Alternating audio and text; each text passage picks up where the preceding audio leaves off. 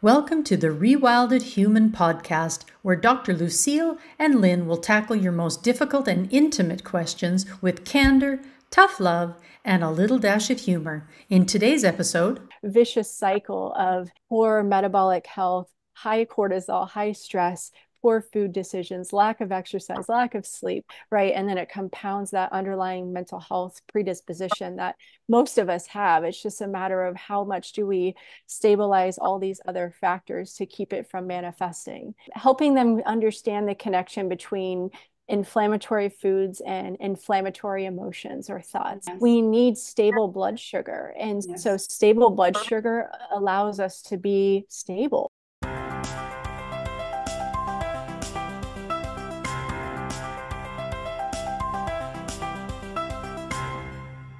Welcome, everybody, to the Rewilded Human podcast. I'm Dr. Lucille, holistic psychiatrist and psychotherapist, and this is my partner in crime, Lynn Hardy, mastermind behind our podcast, and also a, a naturopath and a nutritionist. And today we have a really special treat for you all because we have a special guest, Dr. Diane Grise. And Dr. Diane is going to talk to us about healing deep emotional wounds, integrating homeopathy and acupuncture for mind body wellness. So, Dr. Diane has a really well rounded background in, uh, you know, the healing arts. So, she's a naturopath, acupuncturist, homeopath. Have I left anything out, Diane? No, that's that's that's the gist okay. of it. Yes, thank you. And uh, one thing that really drew me to her on Instagram was uh, her interest in bridging spirituality and science. And she also has a deep passion for suicide prevention and uh, grief recovery. First of all, if we could just do a basic round of definitions, Diane, because some of our listeners may not be all that aware of, you know, the modalities outside of mainstream medicine. So I wondered if you could give us kind of, you know, brief description. What is naturopathy? What's homeopathy? And what's acupuncture? Yes, of course. Um, well, naturopathy is uh, kind of an umbrella term, just encompassing natural medical kinds of approaches. So, this would include dietary changes, uh, herbal recommendations, exercise recommendations, all of those sorts of lifestyle and um, natural medicine modalities. And within that, there is a doctorate program, a four year uh, medical program that is to allow for people who want to really take it as far as they can to get a doctorate in naturopathic medicine. And so this allows for the ability to prescribe, which is really nice. And every country is a little bit different as far as regulations, but here in the United States, it allows us to have a DEA number to be able to prescribe um, hormone replacement therapy, which is really helpful. Mm. Then part of that, we all practice a little bit differently. So for within naturopathic medicine, some people focus in sports medicine, other people focus in more aesthetics medicine. For me, I focus mostly in mental health. Great. And, okay. Yes. And so homeopathy is one of the modalities that's used in naturopathic medicine. It's a way to um, use natural substances to stimulate the body's natural heal- healing response. And so it's um, using things like uh, salt and anything from salt, which is um, Natrum muriaticum, which we'll, we will talk about here coming up in regards to grief, and all the way to things like um, snake venom, uh, Lachesis muta, which is uh, used for a lot of um, menopausal symptoms, hot flashes, and irritability. And so all natural substances create a response in the human body. And so we match the person's symptoms to something in nature that would present a very similar picture. And in a very, very dilute amount, it kind of matches the uh, the frequency of the imbalance and helps to correct it. And so, not all naturopathic doctors use homeopathy. They're all trained in it, and some take it or leave it, uh, just like some of us take or leave injection medicine and IV therapies. We all kind of do the things that we're um, just, you know, more in alignment with. Mm-hmm. Um, so for me personally, homeopathy is more of that energetic kind of medicine, and then acupuncture is the other kind of uh, energetic, uh, we call it a a V stimulating, stimulating the self-healing correct, uh, corrective mechanism that's inside the person. And so I like to use homeopathy and acupuncture. So acupuncture is using uh, needles to help move the energy throughout the system and um, we can use different points to help with grief, different points to help with anger, uh, different points to help with digestion or hot flashes. And so it's a way of using, uh, working with the energetic uh, system of the body. And that also very much impacts the spiritual system as well. Oh, wow. That was an excellent, excellent review of, of the three. Thank you so much. Oh, you're welcome. One of the things uh, that also struck me was your uh, focus on suicide prevention. And I think suicide is a topic that is just so still not spoken of. People are still not aware of it. It's it's a challenge even to the most seasoned uh, you know mental health practitioner. And so i wanted if if you're willing to talk a little bit about your origin story uh, how you got into you know focusing on suicide prevention. Yes of course. Um, so I was interested in medicine in general since I was maybe five or six, just interested in cuts and bruises and different things. So I was already curious about the human body and how it can heal um, from a very, very young age. But then uh, when I was 14, I had a, a, a huge loss, and that really set my path for me. I my my father passed from suicide when I was 14. Um, he was so 45 sorry. years old. Thank you. Yeah, it, it's yeah. absolutely just um, yeah. It was it was a tra very tragic loss for our family, for his friends, for his coworkers, um, really our whole community. We're from a small town in southern Indiana. Everyone knew each other. It was in 2001, which is you know when really i mean now it's starting to be talked about a little bit more but back then it really was not discussed at all and um, so you know, I, I was 14. I was too young to really grapple with it. But um, I, over the years, I, you know, moved into pre med and um, continued into the natural medicine route because I didn't want to only have prescription medications as my tool in my toolbox.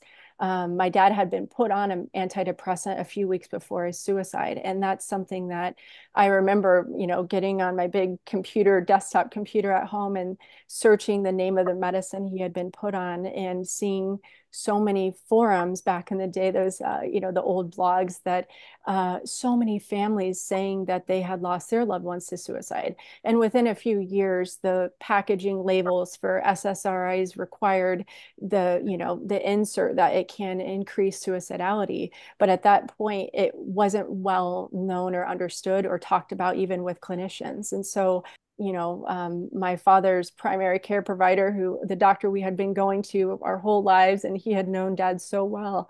Um, I can only imagine how that impacted him and his practice, you know, and just that that knowledge of how the treatment can worsen the symptomology. It was just um, hard for my young brain to wrap itself around. And then as I learned more and more going through school and um, and then working with patients now who are on a lot of you know antidepressants or anti-anxiety medications and they're um, sometimes getting worse or they're they're developing you know just more numbing where they're not really able to heal the wound they're not yeah. able to really feel the wound and it, yeah. so it kind of brushes it under the rug in a way that lets it kind of fester. And that's what I think, you know, my dad um, had some childhood trauma that was at the root of his depression. And eh, if he had the right therapist, you know, I, of course, I, I grapple with what ifs, um, yeah. which I do a lot less of now, but uh,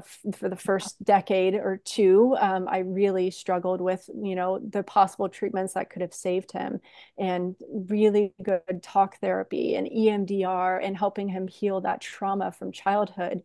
Um, but it, it would have required his willingness to be vulnerable. And I don't know if he was healthy enough to be vulnerable because vulnerability takes mental health. And he was not in a metabolically healthy place. He was very stressed. He was overweight, right? And this vicious cycle of poor metabolic health, high cortisol, high stress, poor food decisions, lack of exercise, lack of sleep, right? And then it compounds that underlying mental health predisposition that most of us have. It's just a matter of how much do we stabilize all these other factors to keep it from manifesting.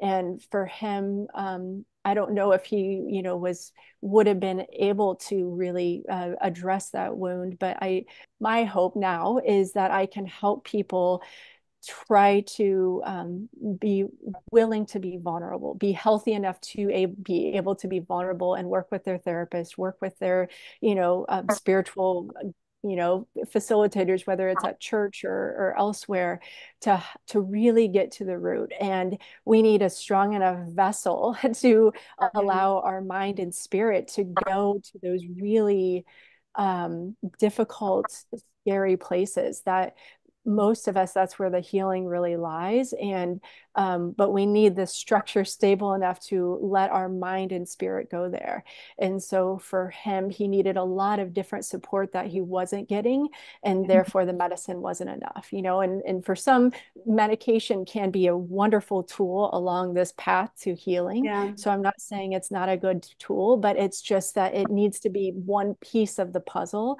and for him it was the main it was really the only piece of support that he he really had at the time. So now my passion and purpose is to try to help other people who are feeling suicidally depressed, ideally working with people who are not even to that point yet and, you know, working on um, hormonal imbalance and high stress and poor life balance and things that if they do nothing, they'll get to that more serious state um, but also with people that have had a lot of grief. It has taken me a long time to get to the place where I feel like I can really help. I had to do a lot of my own healing and a lot of my own growing and um, get to the place where I could have this conversation without tearing up, uh, you know, and, and so it's part of me just needing to feel like I have my vessel strong enough to be able to hold space for people who are dealing with a situation that at one point would have been too triggering for me to be able to hold a healthy kind of space for them.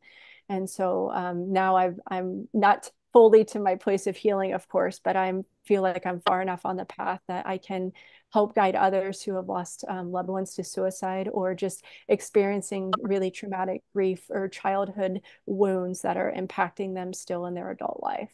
Diane, do you find that in the last four years, you know, since the pandemic and everything, that a lot more people are depressed or contemplating suicide or have committed suicide? Have things changed a lot in your practice? What What are you seeing? Yes, I'm seeing a lot more. Um, the rates are up, and um, specifically in um, adolescents and young adults. I believe it's now the second leading cause of death for like 15 to 20. So, I mean, it is really really increased and not it's it's tricky. It's the the individuals these these young you know adolescents teens uh, young adults but also them seeing their parents stress and their grandparents stress. And so it's this multi-generational kind of imbalance that we have seen over the last four years. And there's a big piece that's financial stress and so that's an interesting part of medicine. We don't, in psychiatry, we don't necessarily acknowledge a whole lot, but financial insecurity is a huge source of stress for people. And so I want to give that some you know airtime and credit as a as a source of um, of needing to be really acknowledged and understood and and for people to really take that piece of their life very seriously as a a, a place where they could create some stability and foundation to heal and grow.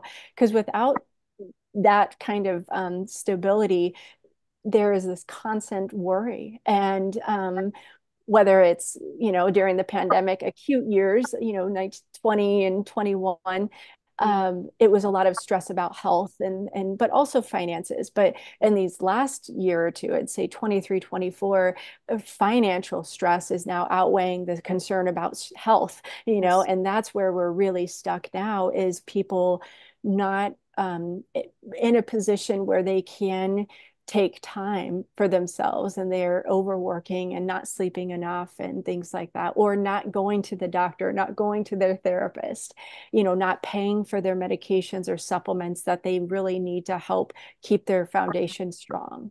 Um, yeah, I think the statistics have shifted so much now because uh, they, there used to be, as you know, this U-shaped curve where it was the younger folk and the elderly or older than middle aged who had the highest levels of happiness in our societies. Mm-hmm. And it was the middle aged who had the lowest levels.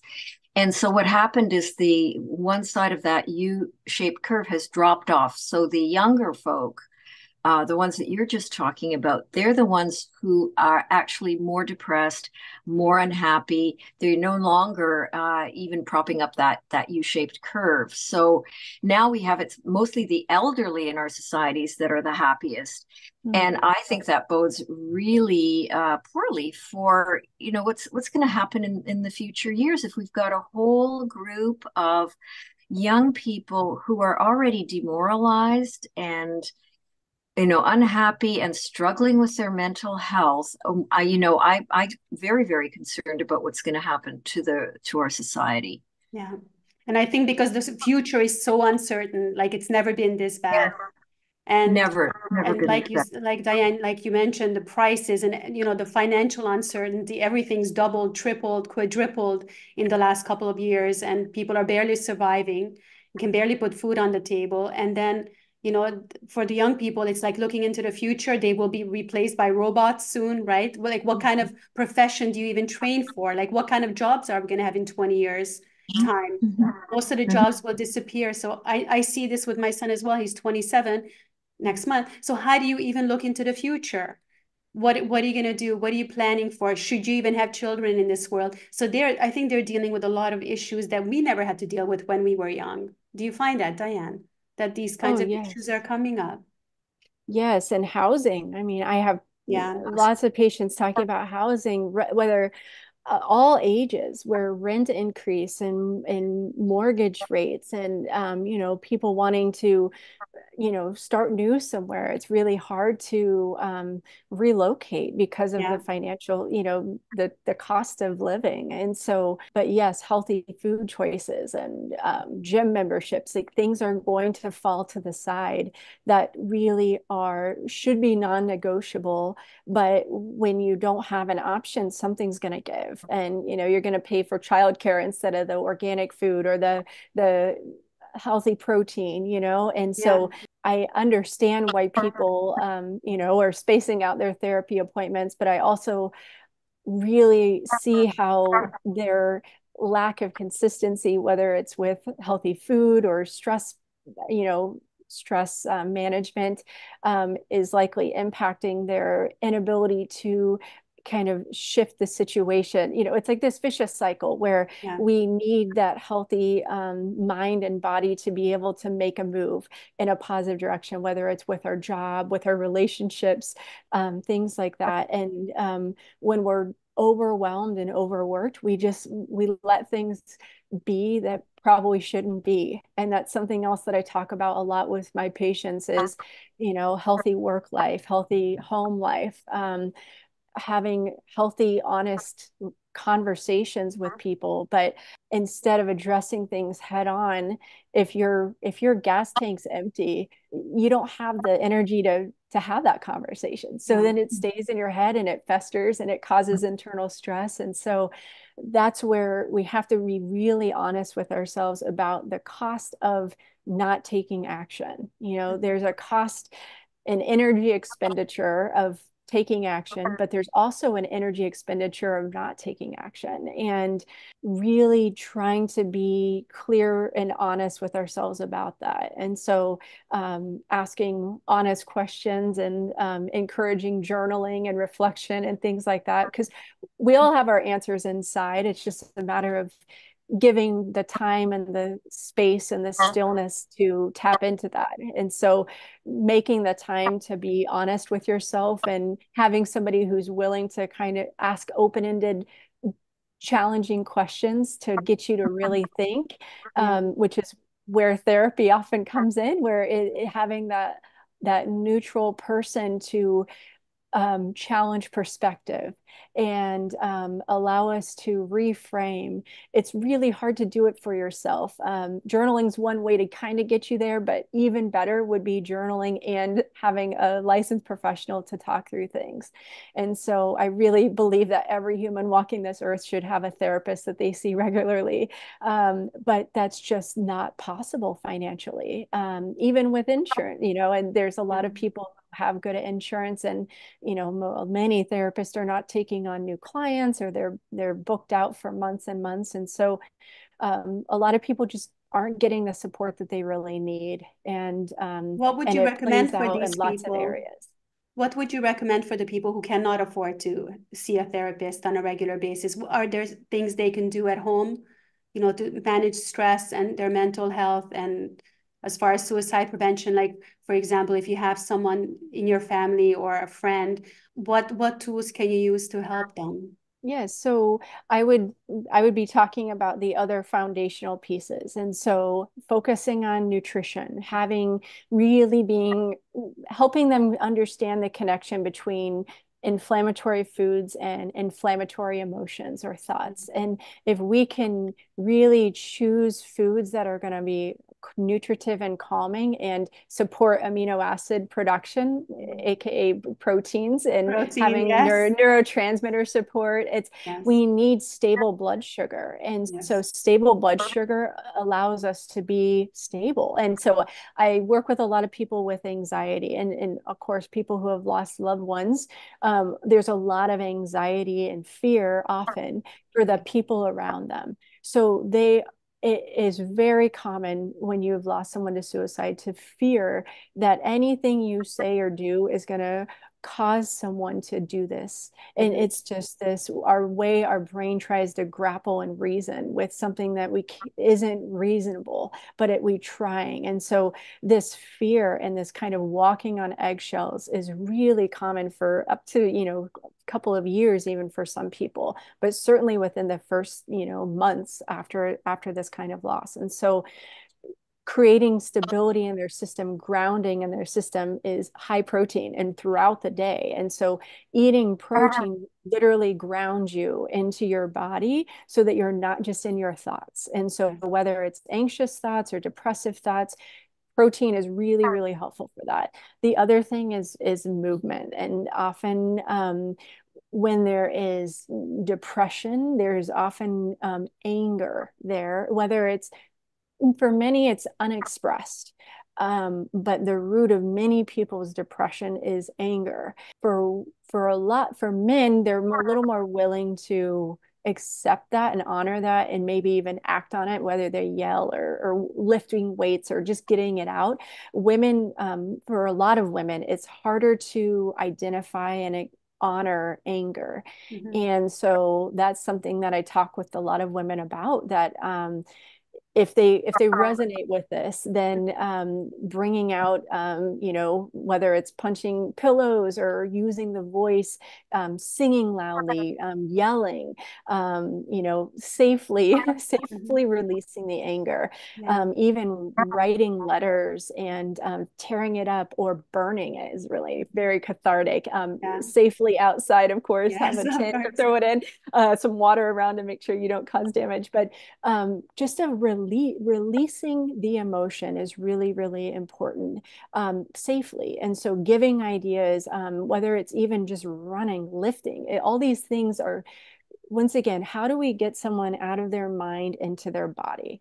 So exercise, dance. Actually, a study came out recently looking at the SSRI, the uh, antidepressants, and exercise and dance. Dancing beat every form of exercise. Beat this SSRIs was the most therapeutic antidepressant is dancing, and so mm-hmm. it doesn't have to be with anyone else. Just put on music you love. Um, you know, whether you're cleaning or you're clothed or not, whatever, just dance. You know, and um, so really everyone has different things that they're going to resonate with. And so I like to have conversations about the broad way that you can move, the broad ways that you can um, connect with other people, whether it's volunteering or spiritual groups or calling up a friend that you've been thinking about, but you think they don't have time for you, um, things like that. And so I, when people bring up, um, uh, responses to ideas i might challenge it. And tell me more about that. How how is this something that this person has said to you that they don't want to speak to you? Or is it something you've told yourself about them you know? And that a lot of times um, especially if we're feeling depressed if we feel like a burden that is one of the lowest um, vibrational kinds of emotional states is feeling like a burden, feeling shame. Um, and a lot of people who have lost ones to suicide, they have they have some sense of blame towards themselves of not having done something. If there was something maybe I could have done or said to have prevented that, and so the people left are often um, really challenged by shame, guilt um, feeling like they're burdening their loved ones, their coworkers, you know, that they should have gotten over it after a year or five years or 10 years. And um, so really honoring the, um, the normalcy of this, but also challenging the usefulness of that emotion and um, really trying to give the power back to the individual and the power back to their friends and their family and encouraging them to let that person decide for themselves. You're deciding for them whether they want to talk to you or not, whether they want to go on a hike with you or not, whether they want to go to lunch with you or not. If you're assuming they're going to say no or that they don't have time. But I wonder what it would be like if you were to invite them to lunch. Maybe they've been mm-hmm. Wanting connection as well. And yeah. it's actually giving them an opportunity for healing and connection that they really need um, as well as you really need. And so the reminder of how good it feels to help another person sometimes people need that reminder to allow other people in to help them because um, they've convinced themselves they don't deserve it or they're too much or whatever it might be. And so a lot of my conversation is trying to tease that out and find truth and not truth in that and um, and maybe even in that session, um, encouraging them to send a text message over to connect or to put it in their calendar when they're going to go to that workout class or that yoga class, you know, and just um, needing that encouragement to take some action. Um, because when we're stuck inside our thoughts, we can really just tread water and we're not making any progress. So, um, those are a couple of areas that I would likely explore with people and just find what unique um, avenue is going to be um, the best for them. We call it shared decision making, where we kind of look at all the options and yeah. together we figure out what the plan is going to be. Love that. That's wonderful. Um, one of the things that I find too is that once there has been a suicide, unfortunately, people have no idea, especially within the family system, they really have no idea how to handle it. Uh, and often, and um, just to reveal something about myself, uh, my father committed suicide. I was mm. fortunately older. I don't know how devastating it would have been if I'd been your age, 14. Yeah, oh, it was so it was uh, devastating enough when I was I I was in my 30s at the time. My mother and I never talked about it in mm. any direct way, which was a, I think, a, a mm. big mistake. And I know that, uh, you know, from my clients, that's uh, all often what happens is that people just don't talk about it once it's happened. And they they go into their own little private worlds, as you say, and and they create all sorts of stories and they go into their shame and guilt and self-blame and all of that. And they they miss the potential for the healing connection.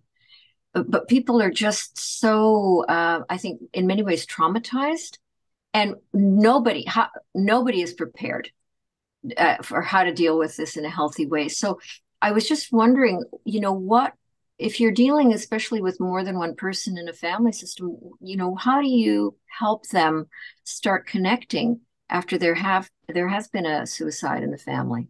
Yeah, well, first, I'm really sorry that we we share this trauma uh, at, at any fact, age. Our fathers died at the same in the same year. You said 2001. That yes. was the year my father also committed suicide. Oh my yeah. goodness. Oh, I'm so sorry. It really is the any death is so traumatic, but the way that it allows the survivors to create dialogue is unique you know, a car accident or a, heart attack is pretty a clear line of events and um, and an outcome. And with suicide, it there's so much left unknown as to really why. Even if there's a letter, there's still so many unknowns, and that's where that's why as humans, I think we're our minds and hearts are designed to make sense of it, just to create a story, um, to make some sort of um, you know justification for it if we can. And so um, it's just it really does keep a, a lot of us from um, from really yes connecting with our own families even, but certainly with other people too. Um, so as far as the story the story breakdown. One route i like to encourage if and you know i know that um, lynn you had asked about you know if people can't afford therapy um, even in in this situation um, very much would encourage therapy but if that isn't available um, i love cognitive behavioral therapy and there are many cbt workbooks that are online that you can find that can help you when there are um, this this distorted thinking. Um, you know know these all or nones and these um, these narratives that we have um, about what has occurred. So using these workbooks to help kind of tease out the story, the truths and untruths, the root cause, the, the root feelings, things like that can just help people um, break through the emotion to more of the um, the facts of of this situation. And so this for some people is really really helpful. Mm-hmm. Um, so I I very much encourage that kind of um, analysis. Mm-hmm. Um, the other piece is the way that I the way I approach it is I'm likely seeing one person, right? One one individual. So if you know, if I had Lucille, if I had you in my office, I could try to support your system and coming to more coming to terms with the the grief um, feeling and processing the grief in a way that you yourself is going to have um, a, hopefully a deeper healing experience now I can't treat your your aunt or your your sister if they're not in the room. But what happens is that when one family member is willing to be more vulnerable, is willing to go a little deeper, is able to heal and find forgiveness for themselves, forgiveness for the one who has passed, um, having some sense of um, of peace that has come to the surface that spills over onto everyone around and that invites everyone else to explore that same healing for themselves. And so um, the tools i will use would be acupuncture homeopathy these energetic kinds of medicines that um, I mentioned salt, homeopathic salt. Mm-hmm. Natrum muriaticum is one of the most common remedies for unresolved grief mm-hmm. that is long standing. Um, people who likely respond to NatMur have um, often a, a, an aversion to crying in front of other people, or they even feel like they need to cry and they can't cry anymore. Mm-hmm. Um, and so the, it's literally the grief is pushed in and um, it often shows up with, you know, like high, high blood pressure or heart irregularities, cold sores, just signs that the system's under stress in different kinds of ways. And um, so I'll base their physical symptoms and this mental emotional state if they have this kind of unique picture of their unresolved grief using nat mur often people are crying more freely. They are sleeping deeper. They're not dwelling about on the past. Um, people who need nat mur often have a lot of um, dwelling on the disappointment of the past. So reliving the days leading up to the suicide the um, the aftermath and you know just they're even 10 20 30 years later going back and back and back. And that's interrupting their sleep. It's interrupting their daytime peace and so using homeopathic Natrum muriaticum it will help calm that state to where they're more present. They're not going back to the past all the time. Mm-hmm. trying to bring yourself present when you're subconscious is always going back that takes energy and effort.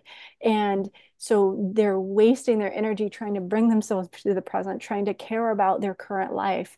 And so when they don't have to exert that energy to be present they're just more at ease. They have more energy to do what's in front of them now. And so um, I find that when I treat one person, their family often um, starts to, you know, be more maybe willing to t- go to into therapy, or they're they're eating meals together, and they're they're so it really does spill into everyone else around you. And so I think it's just a good reminder for mm. all of us that if we heal ourselves and get ourselves emotionally more open and um, then we're able to connect more and so everyone around us gets to benefit from us being in a more harmonious um, happy kind of um, uh, peaceful place because we can help the people who aren't quite there um, connect in with that frequency absolutely mm-hmm. yeah i agree with that so much and and what people don't realize is that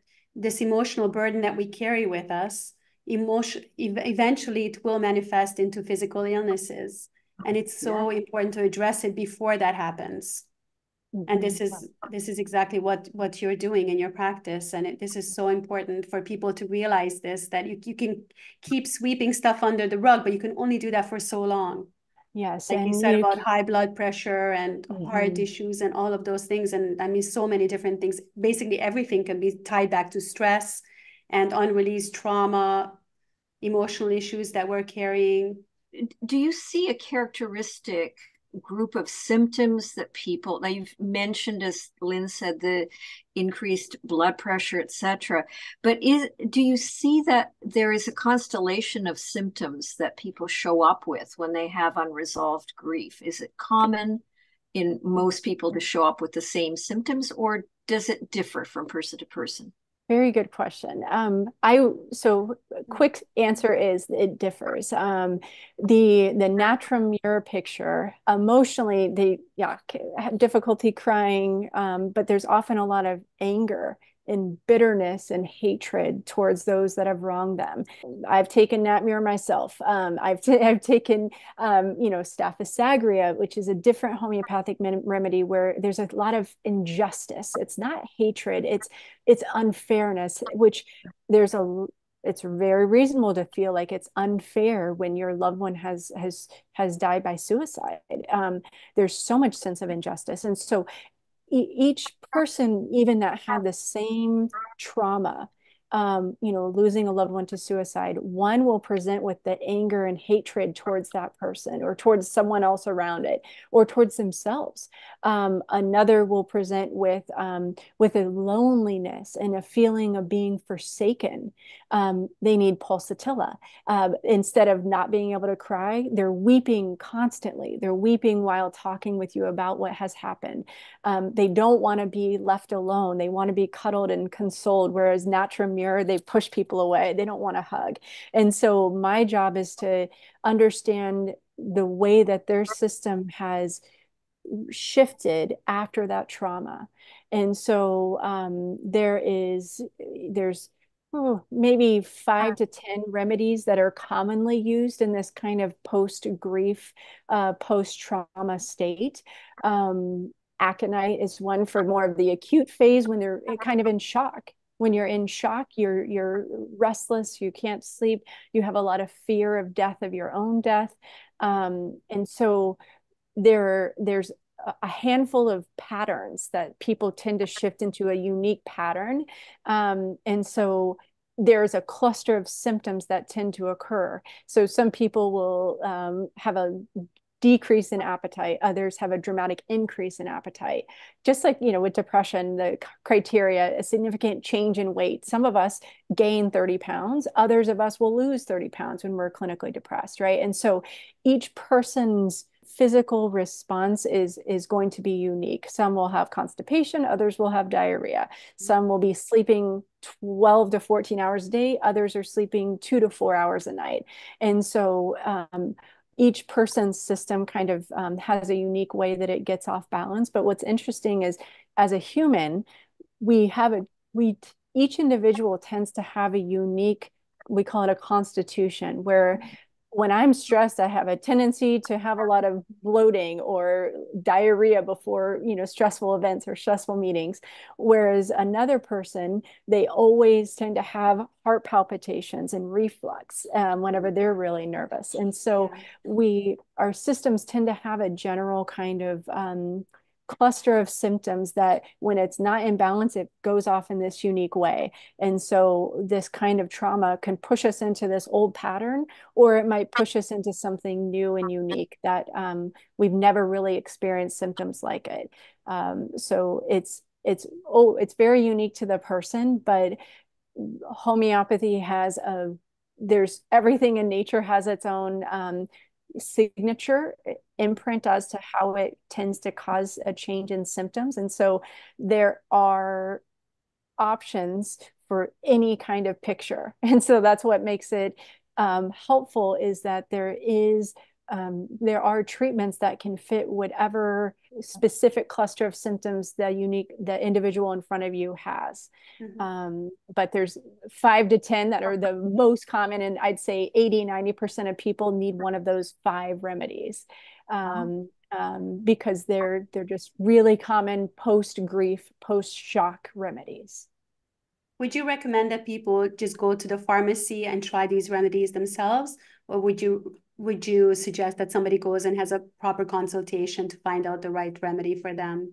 So I would say that it ideally you will consult with someone because there are there's so much overlap of symptoms. Some of them have the waking from two to three a.m. Um, and like you know five five different remedies might have that. And so really um, working with somebody that's been doing it for a while, they can match it most accurately. Yeah. Um, I would say if you don't have those resources and you're reading, you know, online blogs and things um, describing these symptoms in detail so that you can really really match yourself to that remedy um, versus um, you know one or two symptoms then yeah. it's safer and more likely like that you'll have a good match um, yeah. but I tend to dose even less than what the bottle says for mm-hmm. everything, for supplements, yeah. for medicines, and for homeopathic. So the Boiron tubes say five pellets five times a day. I never have people dose that way. Um, so if any listener was wanting to explore some of these medicines, yeah. I would start with two pellets every other day. So just really wow, slowly that okay, that's a very bringing it dose. in. Yes, yeah. um, and sometimes even two pellets every other day is too much. And I have people put two pellets in a couple ounces of water, stir the water, let it sit for 15 minutes, and then drink it. And so water dosing is a way to make it even more gentle. Diluted, so yeah. wow. when in doubt, take less mm-hmm. or don't take it take it once a week and slowly um, see if your if your mood is shifting but really um, like anything in medicine, having professional guidance is super helpful. Um, and usually with homeopathy, once you've found your remedy and your constitutional remedy, it's often not something that changes super frequently. The dosing and the potency might change some, mm-hmm. but um, once you've once you have the right medicine, it's something where you might need to follow up, you know, every you know six to eight weeks so it's not something where it typically will change every week or two weeks um, yeah. and so the follow-up can be kind of spaced out but having that professional guidance is definitely helpful because the wrong medicine although it is dilute and energetic it can stir the pot and if you're already if you're having panic attacks or you're having suicidal mm-hmm. thoughts having those get stirred up and made worse by mm-hmm. taking the wrong remedy or taking too much of the right remedy yeah. even that can stir things up. That could push you into a dangerous place. And so that's where professional guidance is really important um, to make sure that you're you're not made worse. Our our job as doctors is first do no harm. And so you don't want to do harm by not having supervision. Yeah makes a lot of sense. Yeah and I like that that whole uh, piece about how you dose because it's it's I think always the case. Often I shouldn't say always. Often the case that less is more. Mm-hmm. So uh, I think that that idea of, of starting very slow and low is really the best policy. Yeah, makes a lot of sense. Yeah, and especially when we're talking about unresolved grief, the way I think of it is your mind and spirit pushed all this into a closet, tucked it away because it didn't feel like it was safe to really address.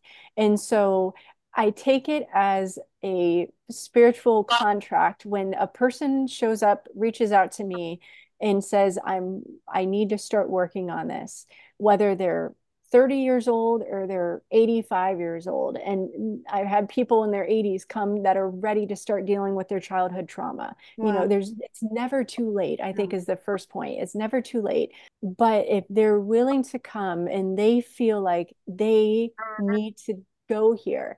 I trust their spirit. I trust them that mm-hmm. they are ready. Um, and I also trust that if they had tried to do it before they were ready, if someone forced them to go, it probably wouldn't work so well. Mm-hmm. Um, that our spirits, our minds, our bodies are um, keeping us safe as, as a foundation. And so However, sometimes that brushing things and compartmentalizing, pushing all this grief into the closet, it has a purpose and a helpfulness for a period of time and then it starts to cause trouble and it's no longer helpful and it's actually can become harmful so now we need to slowly bring this stuff out of the closet to be addressed to be felt to be witnessed to be acknowledged to be um, processed mentally, physically, emotionally.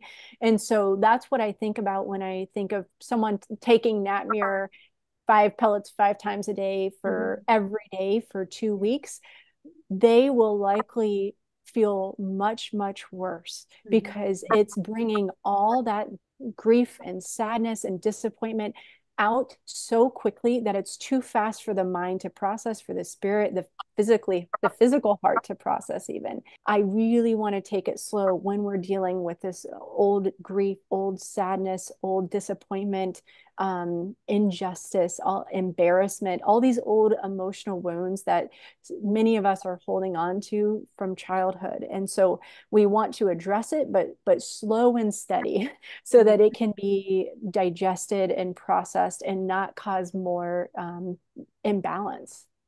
Um, mm-hmm. too fast is it's like trying to drink from a fire hose. It's not going to work. And so we want it to be sus- um, sustainable and not wreak havoc in their personal lives too you know? Um, so it's really important to have that um, that respect for the medicine and respect for the the person that you're working with that they didn't get here overnight. They're not going to heal overnight. And me trying to go too fast is not honoring the system.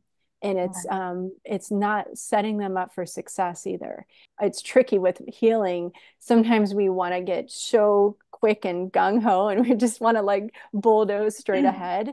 Yeah. um whether it's exercise or diet people can take it anything too far. Yeah. um and we really have to honor our our system as a whole and take it slow and steady and consistency.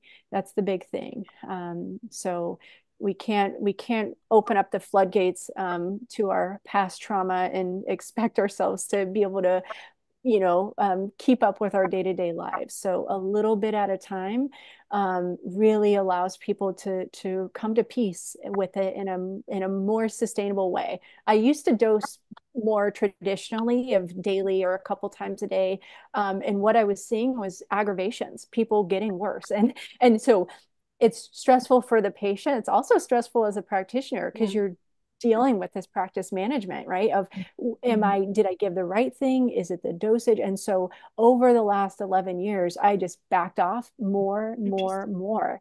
And i'm seeing that people are needing my help less and they're because they're not flooding themselves with all this old stuff as much as you know I, I used to think that it was necessary to do. So i've i've changed my practice as i've um, as i've witnessed this with many people over the years. Oh that's very wise. And the other thing i think that i've noticed and i wonder if you've noticed it too is that people maybe they have one unresolved grief that they're coming for specifically or some unresolved trauma whatever it may be that's that, that's occurred to them like a motor vehicle accident or you know a loved one um, you know dying from natural causes or whatever.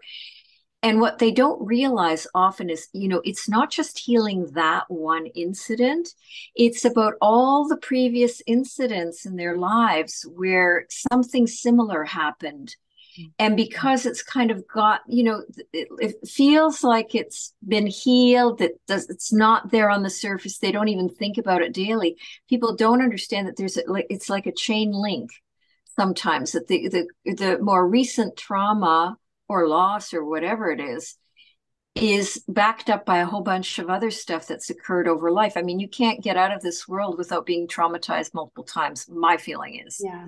So I think that's another reason why you have to go slow and you cannot build any expectation that, wow, it's just, if once I get through this, smooth sailing for the rest of my life, you know? So I want to get it done and get it done now. You know, it just, mm-hmm. does, I've, I've almost never seen it work that way. Have you, have you had that experience as well?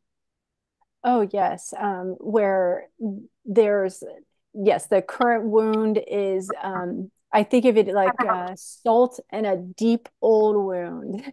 It's it's irritating this wound that was already there, and so it feels like that's the irritant. But we need to. There, it's it goes further than that, and so I I love rec- referring to it for EMDR. I, it's a similar way of just working on that old filing cabinet of of um, traumas and emotion and how it it goes back. It's always connected further mm-hmm. than what we we can even consciously remember. And so yes i think that that's a big part of it for a lot of people that it's it's deeper than what we even know. Exactly. at that moment but yeah. as we do as we heal this more we th- talk about it like an onion where we're we have layers to us and these we, we can treat this most outer wound which when that level that layer peels off so for some people there then the nat mur state let's say is is an an outer wound and um, underneath when we peel that off there's a different layer a different kind of emotional state that was preceding this current trauma. And so sometimes we kind of will have to change course once we go deeper and we've healed this kind of uh, hatred or bitterness. And underneath that is the loneliness and the feeling forsaken. And so now their physical symptoms are changing. Now their emotional symptoms are kind of coming up and they're talking about feeling lonely versus wanting to be left alone.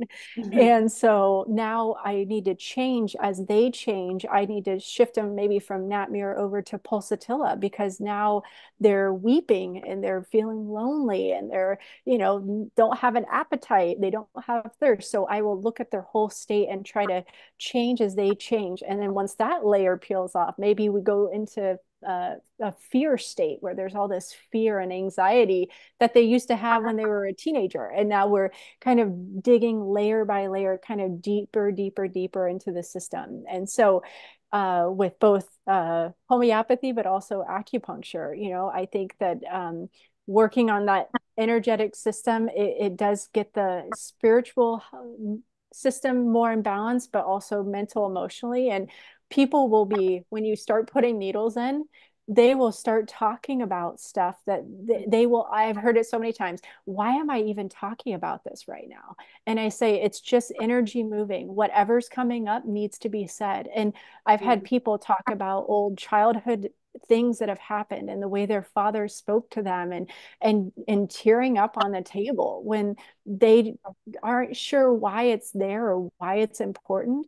But and i don't know. All i all i say is i invite it anything that comes up is invited. The tears the laughter um the the conversation. And it's interesting as you get healthier as your body is more in that parasympathetic state it can see things with more clarity and mm-hmm. so there's often a sense of understanding that can come from using these types of modalities. I think of therapy, mind body medicine is also a way of, of self healing, right? Where if people's perspectives can shift, the way they see themselves, the way they see their story can be in a healthier place it has a dramatic impact on on their their overall health and um, allows them to have that that clarity and peace that then can let them go deeper and deeper and deeper into their healing. But we have to get out of this um, fight or flight state which most mm-hmm. people with this kind of loss are in. Of course you're you're fearful of yourself the people around you. And so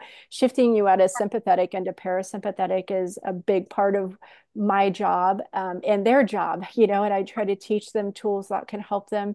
It's all about getting into the body. Once again we so many of us are we're bottlenecked. We just live in our heads. Yeah. uh, we don't we can't even feel our feet. I, I like to ask that question. Are you able to feel your feet on the floor? Um, so many people they can't even connect with their body mentally. And so it's that awareness that they don't have that connection is kind of alarming for a lot of people. And so we you know there's lots of tools we can do grounding techniques getting your bare feet on the ground.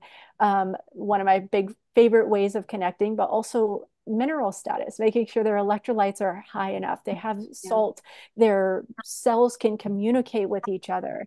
Um, so many people that are struggling with mental health they aren't making proper hydration and food choices, uh, partly out of a narrative that they don't deserve the effort or they don't mm-hmm. deserve the nourishment, or it's often these aren't conscious thoughts, they're, they're subconscious, but there's a it takes effort to go to the grocery store to prepare food to yeah. cook food to clean up after and so this whether it's the fatigue that's driving the poor decision making the poor decision making that drives the fatigue it's just this yeah. vicious cycle and so if we can intervene with nutrition intervene with electrolytes and grounding techniques just simple tools that help people feel like they have a foundation then the, then we can make some movement. But until you have a, a stable vessel where you're stuck. You can't make much movement if you're just right here.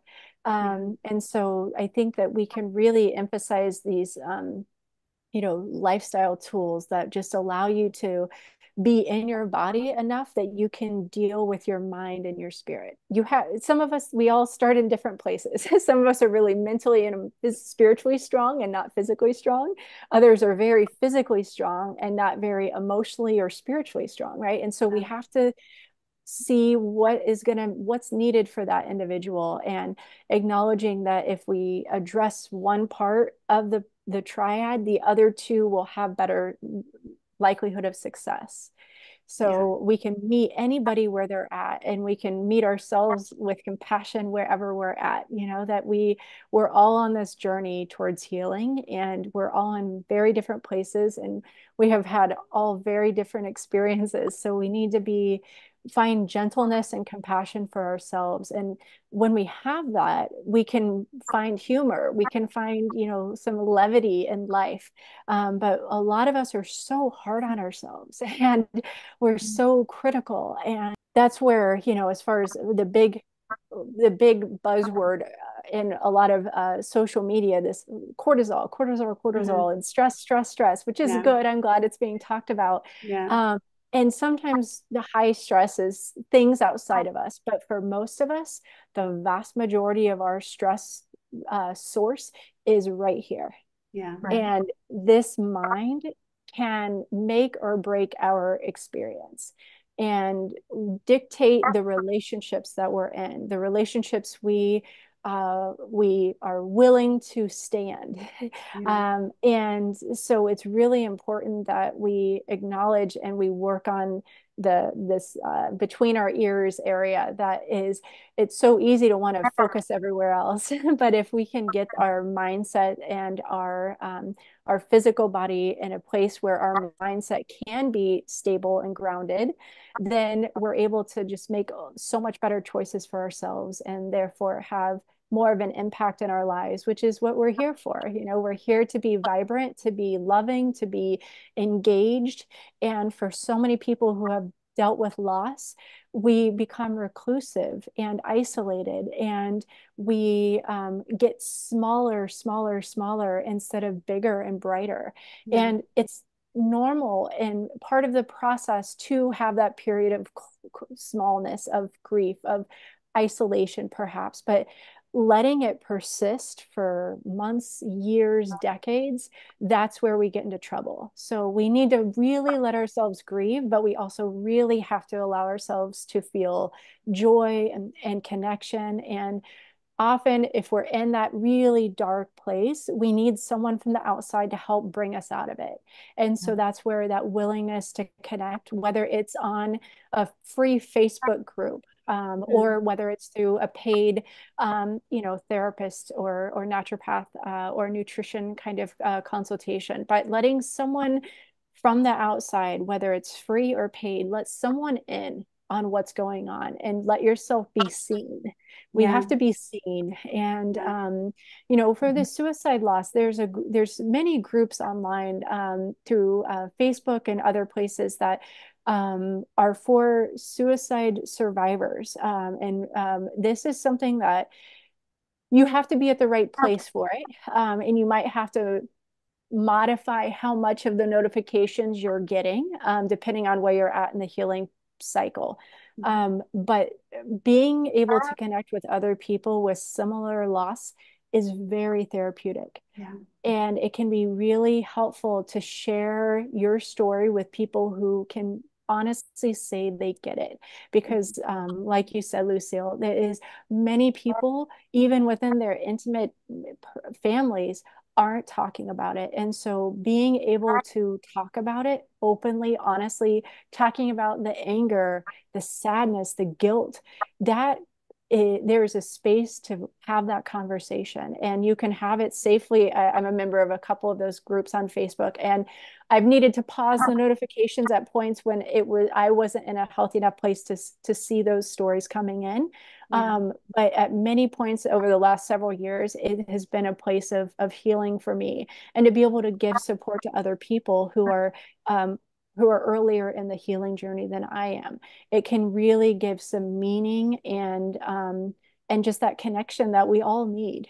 So yeah. there are lots of resources out there for people, and um, it just takes the vulnerability. Maybe you're not even making any commenting, and you're just watching, just reading, sneaking around, yes. watching what's but, going on. But but that's helpful because you're still yeah. connecting. You're still. Exactly feeling mm-hmm. your story uh, through another person's story and um it's just so knowing helpful. that you're not alone because i think you know exactly. when you feel so isolated from everyone you think i'm the only one going through this but when you realize there are others then it just kind of takes some of the pain away it takes that load off your shoulders yes. diane if people wanted to reach out to you where can they find you and do you do online consultations or only in person Yes. Um, so my website is uh, drdianegrise.com and um, we can put a link down uh, will, in the bottom here. And uh, my Instagram is Dr. Diane Grise. I'm on Facebook as well. Um, same, same name. Um,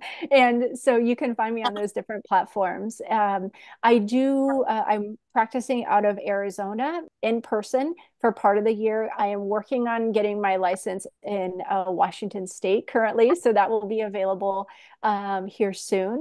Um, but I offer telemedicine as well through uh, video and phone. And so if you're not in one of those places, I can uh, consult with you over the web. Oh, that's fantastic.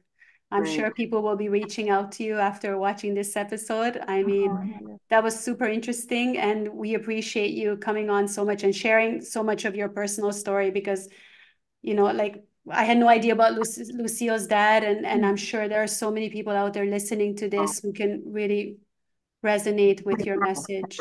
Yeah. Exactly. Yeah. So this has been wonderful. I think that it will, as Lynn says, it will touch a lot of people and be very, very helpful advice for them. Wonderful. Absolutely. Yeah. Well, thank you so much for having Thank me. Thank you so much, and Diane. Thank you for yes, coming. I would love to come back. We have a lot more we can discuss. I think we so. have a lot to cover. Definitely. We'd love that right. too. Thank you. Well, thank, thank you so much. so much. Take care. Bye-bye. All right. You too. Bye. Bye.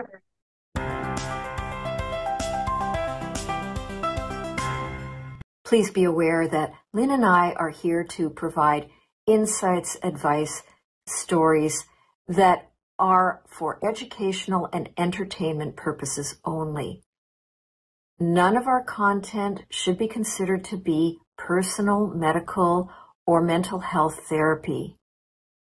If you are experiencing a mental health or physical health challenge, please consult the appropriate healthcare specialist. We are here to provide the best possible content in an atmosphere of positive conversation and personal growth.